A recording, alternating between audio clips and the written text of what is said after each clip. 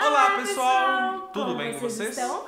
João Freitas Maiara de Paula. em mais um Falando de Casamento. Hoje a gente vai trocar uma ideia, não é bem dica, é- mas é algo muito interessante que são como você noiva ter retratos inesquecíveis do dia do seu casamento. E os retratos que a gente diz são aqueles momentos é, cruciais, são momentos específicos que acontecem antes de você ir para a cerimônia, momentos antes da saída para a igreja. Exatamente, mas antes da gente passar essas dicas, Dicas dicas, eu convido todos vocês para apertar o botãozinho aqui É embaixo.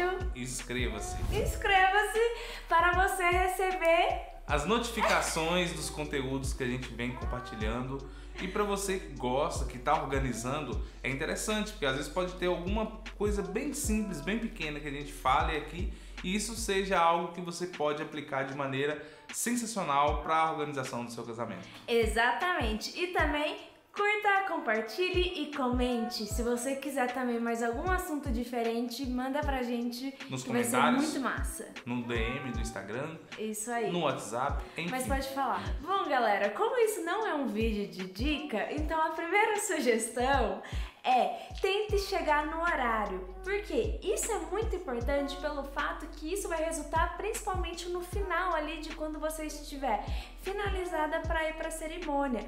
Mais para frente a gente vai falar mais sobre isso, né, na questão de horário e tudo mais. Mas é pra gente é muito importante que nesse momento que a gente faça o seu retrato, você não esteja com pressa de chegar na cerimônia, né?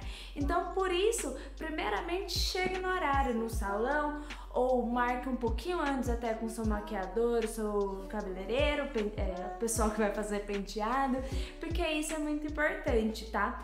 O retrato, uma coisa que a gente fala é não deixar pra depois da cerimônia, porque só você que é noiva, né, você vai sentir ali no momento esse nervosismo, borboleta subindo e tudo mais.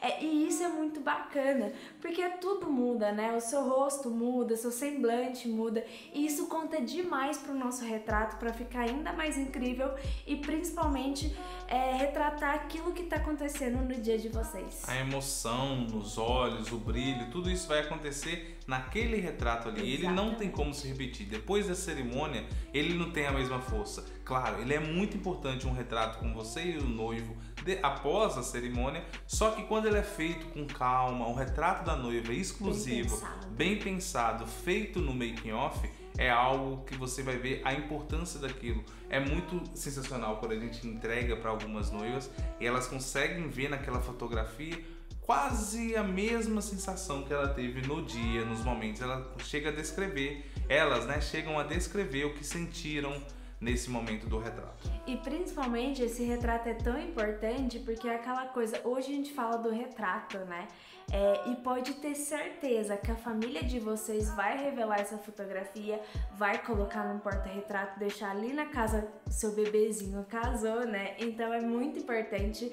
E a gente vê não só a questão disso, mas principalmente daqui a uns anos, quando seus filhos ou alguém pegar o álbum do casamento de vocês, ver como vocês eram naquele momento, ver exatamente o que, que você estava sentindo ali naquele momento, né? Por isso que a gente preza demais por esse momento. É, uma certa tensão acontece com as noivas por estar ali com os familiares, com medo de alguma coisa não funcionar, e acaba que isso tudo é solucionado quando você tem um time que você pode confiar e que vai fazer tudo acontecer da melhor maneira possível.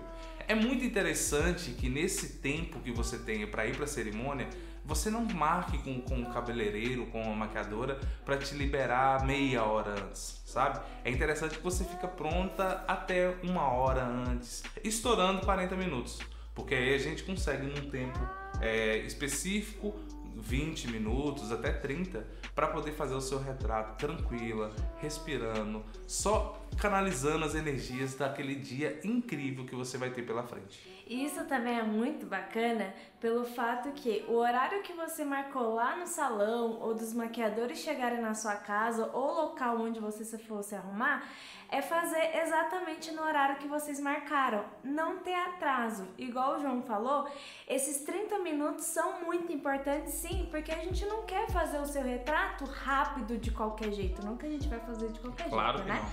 não. Mas esse tempo de 20, 30 minutos ajuda bastante a gente pensar, passar a pose para você certinho e principalmente respirar.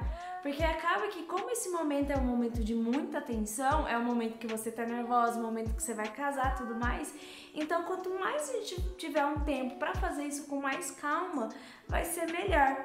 Então, primeiro é não se atrase e também é marcar esse tempinho, igual o João falou, e principalmente pensar no tempo que você leva do local até a cerimônia. Exato. Se for num sítio, isso é maravilhoso, porque a gente não tem essa questão de pegar o carro, Trânsito. se tiver trânsito, todas essas coisas.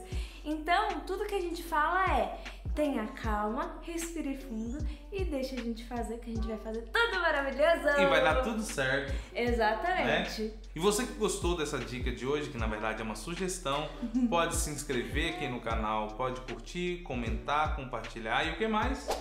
E se inscrever! Eu acabei de falar. Muito obrigado, gente. Depois Obrigada, voltamos com gente. mais dicas no Falando de Casamento e outras coisinhas que estamos planejando por aí. Exatamente. Beijo!